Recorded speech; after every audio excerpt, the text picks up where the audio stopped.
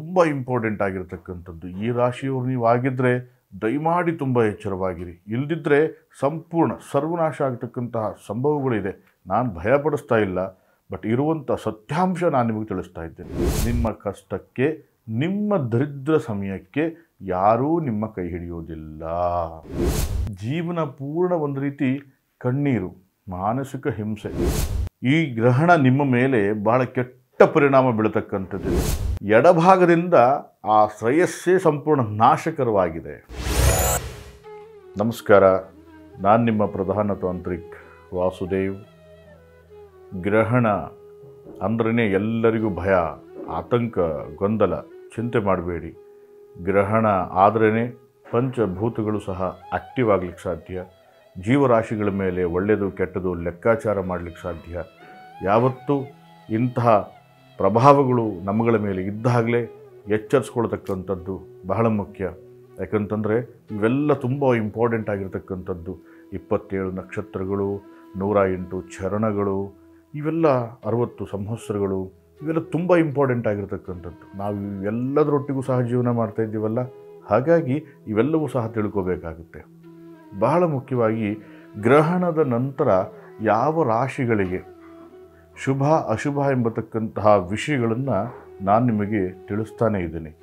ಇದು ತುಂಬ ಇಂಪಾರ್ಟೆಂಟ್ ಆಗಿರತಕ್ಕಂಥದ್ದು. ಈ ರಾಶಿಯವರು ನೀವು ಆಗಿದ್ದರೆ ದಯಮಾಡಿ ತುಂಬ ಎಚ್ಚರವಾಗಿರಿ. ಇಲ್ಲದಿದ್ದರೆ ಸಂಪೂರ್ಣ ಸರ್ವನಾಶ ಆಗತಕ್ಕಂತಹ ಸಂಭವಗಳಿದೆ. ನಾನು ಭಯಪಡಿಸ್ತಾ ಇಲ್ಲ.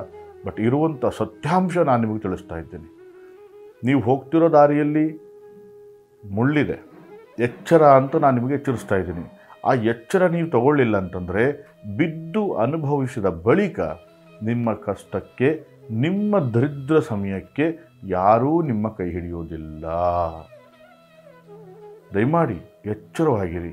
ಈ ರಾಶಿಯವರಿಗೆ ಯಾವತ್ತಿಗೂ ಸಂಕಷ್ಟಗಳೇ, ಯಾವತ್ತಿಗೂ ಗೊಂದಲಗಳೇ. ಜೀವನ ಪೂರ್ಣ ಒಂದು ರೀತಿ ಕಣ್ಣೀರು, ಮಾನಸಿಕ ಹಿಂಸೆ. ಭಗವಂತ ಏನು ಮಾಡಿದಾನಂತಂದರೆ ಈ ರಾಶಿಯವರಿಗೆ ಅವರವರ ಯೋಗಾನು ಫಲಗಳನ್ನು ಸ್ವಚ್ಛವಾಗಿ ಬರೆದು ಕೊಟ್ಬಿಟ್ಟಿದ್ದಾನೆ. ಅದು ಯಾವ ರೀತಿ ಇದೆ ಅಂದರೆ ಈ ಸಿಂಹರಾಶಿಯವರಿಗಂತೂ ದಯಮಾಡಿ ನಾನು ಹೇಳೋದು ಸಿಂಹರಾಶಿಯ ಸ್ನೇಹಿತರುಗಳೇ, ನನ್ನ ಪ್ರೀತಿಯ ಪ್ರೇಕ್ಷಕರೇ, ನಾನು ನಿಮ್ಮಲ್ಲಿ ಕೇಳ್ಕೊಳ್ತಕ್ಕಂಥದ್ದು ಒಂದೇ. ಸಿಂಹರಾಶಿಯವರೇ ತುಂಬ ಎಚ್ಚರವಾಗಿರಿ. ಈ ಗ್ರಹಣ ನಿಮ್ಮ ಮೇಲೆ ಬಹಳ ಕೆಟ್ಟ ಪರಿಣಾಮ ಬೀಳತಕ್ಕಂಥದ್ದಿದೆ. ಒಂದು ಭಾಗ ಹೇಗಿದೆ, ಬಲಭಾಗದಿಂದ ನಿಮಗೆ ಸಂಪೂರ್ಣ ಶುಭವಿದೆ. ಆದರೆ ಎಡಭಾಗದಿಂದ ಆ ಶ್ರೇಯಸ್ಸೇ ಸಂಪೂರ್ಣ ನಾಶಕರವಾಗಿದೆ. ಇದ್ರ ಬಗ್ಗೆ ನಾವು ಪೂರ್ಣ ಸಂಶೋಧನೆ ಮಾಡಿ ನಿಮಗೆ ತಿಳಿಸ್ತಾ ಇದ್ದೇನೆ ನಾನು. ಈ ಜಾತಕದಲ್ಲಿ ಯಾವ ವ್ಯಕ್ತಿಯ ಜಾತಕದಲ್ಲಾದರೂ ಇಂತಹ ಗ್ರಹಗಳು ಇಂತಿಂಥ ಜಾಗದಲ್ಲಿದ್ದರೆ ಅದನ್ನು ಪರಿಶೀಲನೆ ಮಾಡಿಸ್ಕೊಂಡ್ಬಿಡಿ. ಸಿಂಹರಾಶಿಯವರೇ, ದಯವಿಟ್ಟು. ಸಿಂಹರಾಶಿಯವರಿಗೆ ಸ್ಪೆಷಲ್ ಭಾಗ್ಯಸ್ಥಾನ, ಒಂಬತ್ತನೇ ಸ್ಥಾನ ನಾವು ಮೇಷರಾಶಿ ಅಂತ ಹೇಳ್ತೇವೆ. ಆ ಮೇಷರಾಶಿಯಲ್ಲೇ ಚಂದ್ರ ಗ್ರಹಣ ಆಗ್ತಿರ್ತಕ್ಕಂಥದ್ದು. ಆದರೆ ಸೂರ್ಯ, ಚಂದ್ರ ಈ ಭೂಮಿಗೆ ಬೆಳಕು ಕೊಡ್ತಕ್ಕಂಥವ್ರು. ಒಂದು ರೀತಿಯಲ್ಲಿ ಪ್ರತ್ಯಕ್ಷ ದೈವ. ಹಾಗಾಗಿ ನಾವು ಹೇಳ್ತಕ್ಕಂಥದ್ದು ಏನು ಅಂದರೆ ಸಿಂಹರಾಶಿಯಲ್ಲಿರ್ತಕ್ಕಂಥವ್ರಿಗೆ ಸೂರ್ಯದೇವ ಅಧಿಪತಿ ಇದ್ದಾನೆ. ಹಾಗೆ ಸೂರ್ಯನ ಒಂದು ಪ್ರಭಾವ, ಆತನ ತೇಜಸ್ಸು, ಅಧಿಕಾರ, ಜ್ಞಾನ, ತನ್ನ ಸೂಕ್ಷ್ಮ ಕಿರಣಗಳಿಂದ ಎಲ್ಲ ಜೀವರಾಶಿಗಳನ್ನು ಬಡಿದು ಎಬ್ಬಿಸುವಂತಹ ಶಕ್ತಿ ಇರತಕ್ಕಂತಹ ದೈವ ಸೂರ್ಯದೈವ. ಆದರೆ ಸೂರ್ಯದೈವನ ಒಂಬತ್ತನೇ ಭಾಗ್ಯಸ್ಥಳವಾಗಿರತಕ್ಕಂತಹ ಮೇಷರಾಶಿ ಮೇಷರಾಶಾಧಿಪತಿ ಮಂಗಳ ಮಂಗಳ, ಸೂರ್ಯ ಮತ್ತು ಮಂಗಳ ಮಿತ್ರ ಗ್ರಹಗಳಾಗುತ್ತವೆ. ಹಾಗಾಗಿ ಇದು ಭಾಗ್ಯಸ್ಥಾನವಾದರೂ ಸಹ ಒಂದು ಭಾಗ ಶುಭವಾಗಬಹುದು.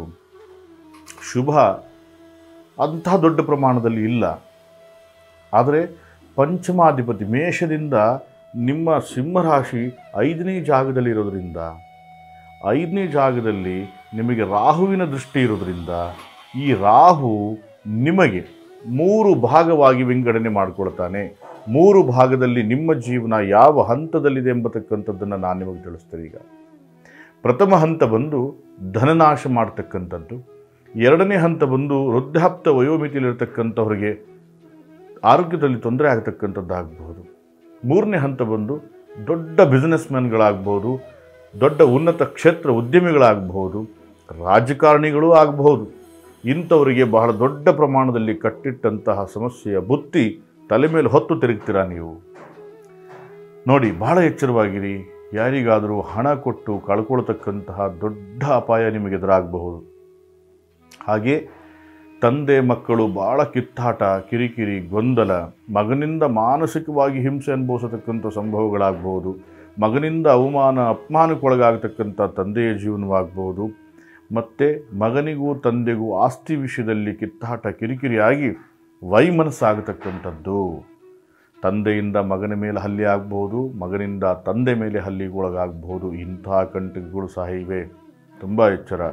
ಅದಾದ ಬಳಿಕ ಬಹಳ ಮುಖ್ಯವಾಗಿ ರಾಜಕಾರಣಿಗಳಾಗಲಿ, ಸಿನಿಮಾ ನಟ ನಟರು ಉತ್ತಮ ಆಗಿರ್ತಕ್ಕಂಥವರಾಗಲಿ ಬಿಸ್ನೆಸ್ ಮ್ಯಾನ್ಗಳಾಗಲಿ ದಯಮಾಡಿ ನೀವೆಲ್ಲಾದರೂ ಹೂಡಿಕೆ ಮಾಡಬೇಕು, ವ್ಯವಹಾರಿಕವಾಗಿ ಅಭಿವೃದ್ಧಿ ಆಗಬೇಕು, ಹೊಸದಾಗಿ ಏನೋ ಒಂದು ಮಾಡಬೇಕು ಅಂತ ಹೋದರೂ ಸಹ ನಿಮಗೆ ಇದು ಬಹಳ ದೊಡ್ಡ ನಷ್ಟ ಪ್ರಾಪ್ತಿಯಾಗುತ್ತೆ ಧನ ದರಿದ್ರ ಉಂಟಾಗುತ್ತೆ. ಮಾನಸಿಕ ಚಿಂತೆಗೊಳಗಾಗ್ತೀರಿ ನಾಶಾಂತ್ಯಕ್ಕೆ ಬಂದು ಜೀವನ ನಿಲ್ತಕ್ಕಂತಹ ಸಾಧ್ಯತೆ ಇದೆ. ಆದರೆ ಒಂದು ಭಾವಕ ಸ್ಥಾನದಲ್ಲಿ ನೋಡಿದರೆ ನಿಮಗೆ ಭಾಗ್ಯದಲ್ಲಿರ್ತಕ್ಕಂತಹ ಮಂಗಳನ ಪ್ರಭಾವ ಅಷ್ಟು ಸಾಥ್ ಕೊಡೋದಿಲ್ಲ. ರಾಹು ಸೂರ್ಯ ಚಂದ್ರರಿಬ್ಬರನ್ನೂ ಕಟ್ಟಾಕತಕ್ಕಂಥ ಶಕ್ತಿ ಇರತಕ್ಕಂಥವನು. ಸಿಂಹರಾಶಿಯವರ ಜೀವನದಲ್ಲಿ ಎಂದಿಗೂ ಸಹ ನಷ್ಟ, ಧನನಾಶ, ಮಾನನಾಶ, ಆರೋಗ್ಯನಾಶ, ನರಳಾಟದೇ ಜೀವನ ಆಗ್ತಕ್ಕಂತಹ ಸಂಭವಗಳಿದೆ. ತುಂಬ ಎಚ್ಚರವಾಗಿರಿ. ಇದು ಬಹಳ ದೊಡ್ಡ ಸಮಸ್ಯೆ ಆಗ್ತಕ್ಕಂಥ ಸಂಭವಗಳಿದೆ. ಜೊತೆಗೆ ವಾಹನ ಕಂಟಕ ಹಾಗೆ ಅಪಘಾತಗಳಾಗತಕ್ಕಂತಹ ಕಂಟಕಗಳು ಅತಿ ಹೆಚ್ಚಾಗುತ್ತೆ. ರಾಹುವಿನ ವಕ್ರ ದೃಷ್ಟಿ. ಮೇಷದಿಂದ ಪಂಚಮ ಸ್ಥಾನದಲ್ಲಿರ್ತಕ್ಕಂತಹ ಸಿಂಹರಾಶಿಗೆ ರಾಹುವಿನ ವಕ್ರ ದೃಷ್ಟಿ ಇರೋದರಿಂದ ನಿಮ್ಮ ಜೀವನ ಅತಂತ್ರ ಸ್ಥಿತಿಗೆ ತರೋ ಸಾಧ್ಯತೆ ಇದೆ. ಅದರಲ್ಲಿ ಈಗ ಉತ್ತರಾಯಣ ಪುಣ್ಯಕಾಲ, ದಕ್ಷಿಣಾಯಣ ಪುಣ್ಯಕಾಲದಲ್ಲಿ ಸೂರ್ಯನ ಸಂಚಾರ ಹೆಚ್ಚಾಗಿರುತ್ತೆ. ಅಂತಹ ಸಂದರ್ಭದಲ್ಲಿ ಈ ಪ್ರಭಾವ ತುಂಬ ಕೆಟ್ಟ ಪರಿಣಾಮವಾಗುತ್ತೆ. ದಯಮಾಡಿ ತುಂಬ ಎಚ್ಚರವಾಗಿರಿ. ಹಣ, ಆರೋಗ್ಯ, ಮನೆ, ಆಸ್ತಿ, ಮಗ ಈ ವಿಷಯದಲ್ಲಿ ತುಂಬ ಎಚ್ಚರವಾಗಿರಿ. ಇಂತಹ ಅದ್ಭುತ ವಿಷಯಗಳು ನಮ್ಮ ಪಂಚಾಂಗದಲ್ಲಿ ನಮಗೆ ಸಿಗುತ್ತೆ. ಹುಡುಕ್ತಾ ಹೋದರೆ ಇನ್ನು ನೂರೆಂಟು ಅಂಶಗಳು ನಿಮ್ಮಲ್ಲಿ ಸಿಗುತ್ತೆ. ಇವೆಲ್ಲವನ್ನು ಸಹ ಕಟ್ಟಿಟ್ಟು ಪರಿಪಾಲನೆ ಮಾಡಿ. ಖಂಡಿತ ನಿಮಗೆ ಒಳ್ಳೆಯದಾಗುತ್ತೆ. ಆದರೆ ದಯಮಾಡಿ ಸಿಂಹರಾಶಿಯವರಿಗೆ ನಾನು ಹೇಳ್ತಕ್ಕಂಥದ್ದು, ಭಾಗ್ಯಸ್ಥಾನದಲ್ಲಿರ್ತಕ್ಕಂತಹ ನಿಮ್ಮ ಯೋಗನ ನೀವು ಅನುಭವಿಸ್ಬೇಕು ಅಂತಂದರೆ, ದಯಮಾಡಿ ದೇವಿಯ ಸನ್ನಿಧಿಯಲ್ಲಿ ಬಂದು ಚಂಡಿ ಹೋಮ ಮಾಡಿ. ಭಾಳ ಬಲಿಷ್ಠವಾಗಿರತಕ್ಕಂಥದ್ದು ಇರುತ್ತೆ ಪಾರಾಯಣ ಆದ ಬಳಿಕ ಮಾಡ್ತಕ್ಕಂಥ ಚಂಡಿ ಇನ್ನೂ ಪವರ್ಫುಲ್ ಆಗಿರುತ್ತೆ. ಈ ರಾಶಿಯವರಿಗೆ ಇನ್ನು ಅತಿಯಾದಂಥ ಹೆಚ್ಚಿನ ಮಾಹಿತಿಗಳನ್ನು ನಾನು ನಿಮಗೆ ತಿಳಿಸ್ತೇನೆ. ನಿಮ್ಮ ಜಾತಕ ಸಮೇತವಾಗಿ ಬಂದು ನನ್ನ ಭೇಟಿ ಮಾಡಿ. ನಿಮ್ಮ ಡೇಟ್ ಆಫ್ ಬರ್ತು ಟೈಮ್ ಇದ್ದರೂ ಸಾಕು, ಜಾತಕ ಇಲ್ಲದಿದ್ದರೂ ಚಿಂತೆ ಮಾಡಬೇಡಿ, ನಾವು ಅದನ್ನು ಬರ್ಕೊಡ್ತೇವೆ.